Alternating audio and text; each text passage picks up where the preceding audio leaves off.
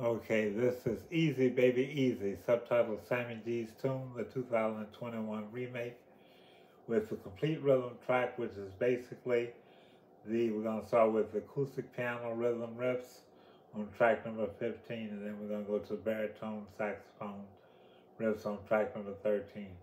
So here we go, starting off with the acoustic piano riffs on track number 15, starting off with a little bit of the click track as the lead in.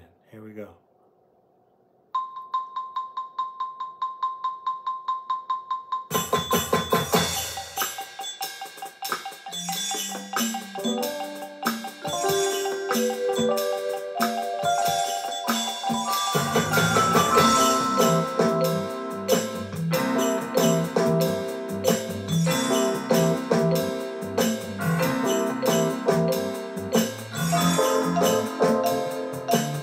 Música